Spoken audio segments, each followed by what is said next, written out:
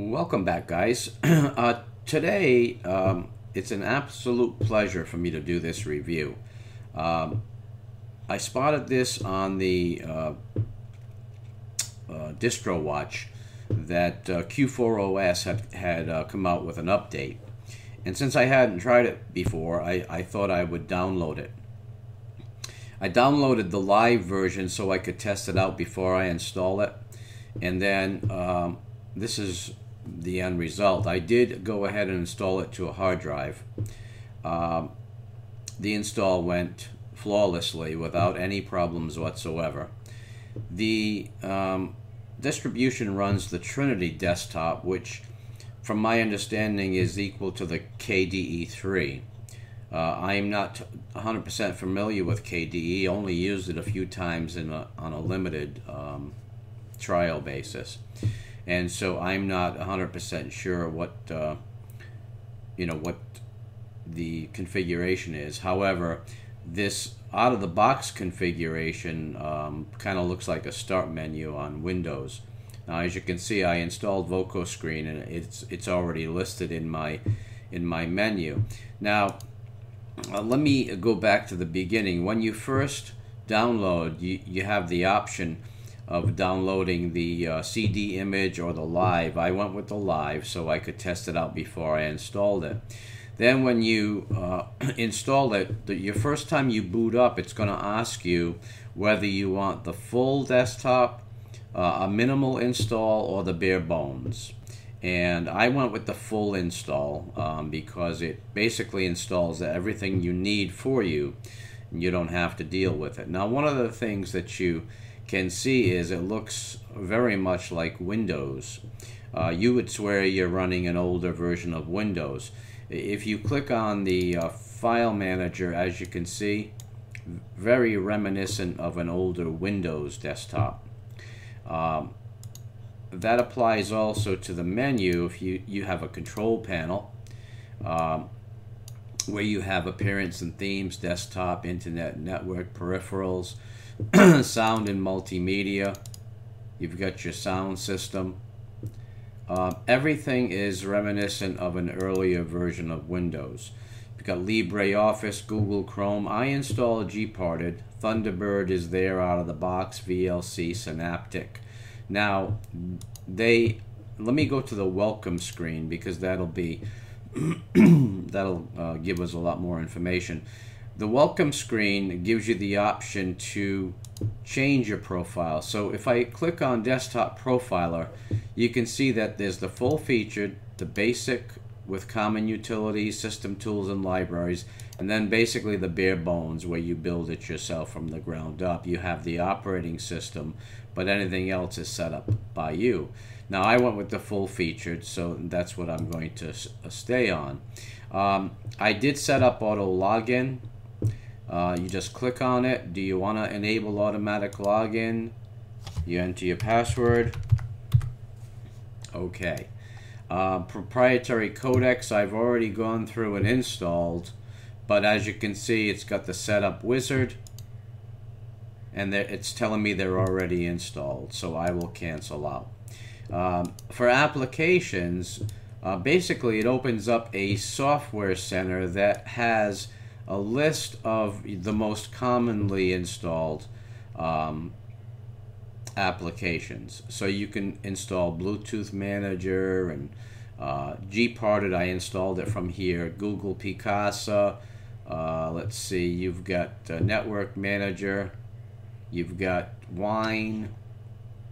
Uh, Google Chrome.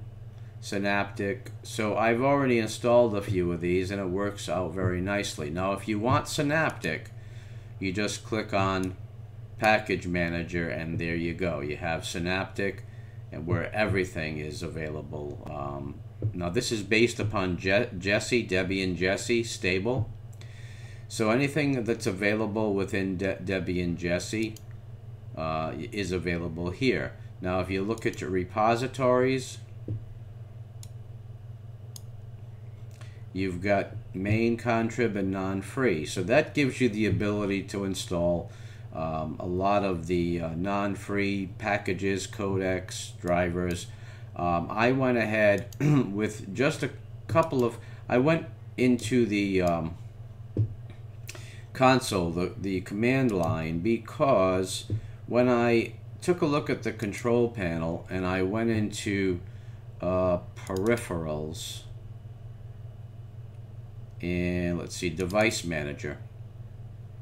As you can see, this looks very much like the Windows, the old Windows device manager. When I came down to the um, graphics processor, um, it had my NVIDIA card listed, so it recognized it out of the box, but the uh, driver and NVIDIA settings was not installed. So um, I installed it through the command line and let's see. I'm gonna find that uh, NVIDIA. Okay, so now I have the NVIDIA 340, which is the latest NVIDIA driver that's available through Debian Stable, which is perfectly fine. Um, if I wanted to, I could uh, tweak a few things and, and get up to the 352 or the 355. But for this, for purposes here, 340 is absolutely fantastic, no problem at all. So it uh, it configured with just a couple of uh, commands. I entered, um, NV I installed NV NVIDIA settings, NVIDIA uh, xconfig and then I ran after the install I ran the NVIDIA xconfig command and then rebooted and everything was fine. Okay so auto login proprietary codecs we talked about applications. Now desktop effects uh, I already uh, configured desktop effects uh, you can turn it on or turn it off from the welcome screen. Desktop profiler we talked about. Now we can now this the default menu is a simple start menu. Very very nice. Everything is self-explanatory. This is a perfect uh, distribution for anyone who's making the move to Windows um, from Windows to Linux because, as you can see, they would be extremely comfortable in this environment. It's got everything that they need to operate their computer on a daily basis, and there's enough of a visual uh, comfort level that they would transition rather easily. So, if you have any relatives who are thinking of making the switch or friends, this would be a terrific desktop to install on their computer. Now, this is a desktop that runs terrific on older equipment. And that's one of the features with Q4OS uh, is that they um, they state that it's perfect for older hardware. So I can, this is an absolutely fantastic distribution. As I said, I installed it to my hard drive. I'm going to keep it installed and I'm going to use it as much as I can uh, just to get a feel for the stability. But right now, everything looks fine. Um, it looks stable. Now, one of the things I noticed when I went to the kickoff uh, menu is it takes a minute or two. Let's see. Now that was before I installed my NVIDIA driver. Let's see how it is now. Switch to kickoff. Yeah. It just takes a minute for it to pop up.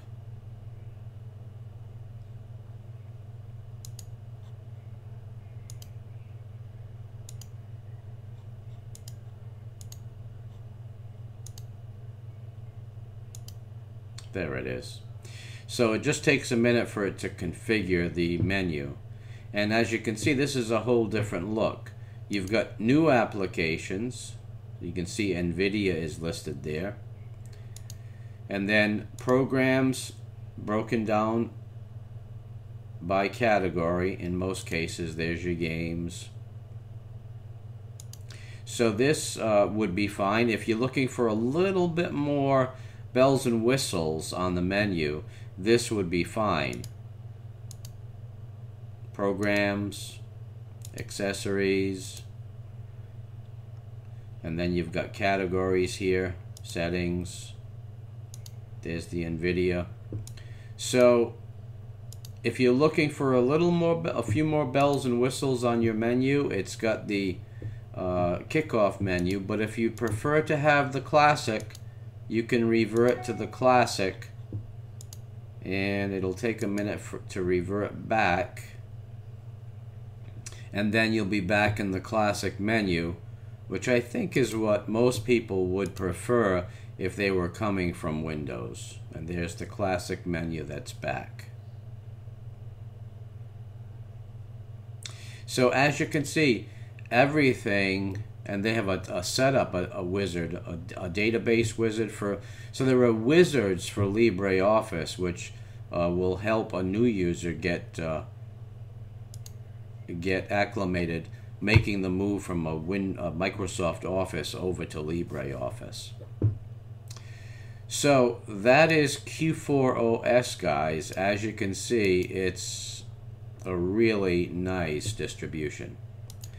Um, I really can't find fault with it. It's based on a solid foundation of De Debian and Jessie stable, and so um, really, what more could you ask for? As I said, if if you oh, if you have someone who's making the move from Windows, this is this would be perfect. So, guys, this distribution really gets my highest rating. It knows what it wants to be and it doesn't try to be anything else. They are trying to appeal to the business user and to the desktop user who wants, especially a business user who wants their people to be able to transition to Windows. Uh, to, I'm sorry, away from Windows to Linux, but yet feel comfortable in the new desktop and I, I believe they achieved their goal uh, in spades. This is a fantastic distribution. So this is Q4OS. You can download it from their website. You can click on the link at DistroWatch. The new updated version is out now. Um, it looks like everything works fine. I highly recommend it if you look and you know it made the debian install very very easy so guys this is a terrific distribution um, i highly recommend that you give it a try. I think you'll be pleasantly surprised. Two big thumbs up. Q4os guys please rate comment and subscribe. Uh, thanks for stopping by and i will see you soon. Take care